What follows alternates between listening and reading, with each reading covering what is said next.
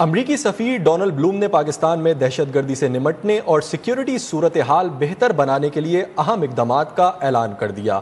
अमरीकी सफ़ीर Donald Bloom ने दौरा कोयटा के दौरान वज़ीर अला बलोचिस्तान से मुलाकात की। डोनाल्ड ब्लूम ने कहा कि कानून नाफिज करने वाले इदारों की इस्तेदाद में इजाफा करना होगा ताकि अमन व अमान की सूरत हाल को यकीनी बनाया जा सके।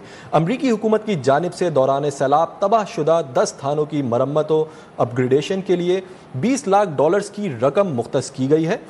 चालीस हज़ार डॉलर्स की इमदादी पैकेज के तहत बलूचिस्तान पुलिस की इंसदाद दहशतगर्दी फोर्स के लिए तरबियती सहूलत में तोसी की जाएगी।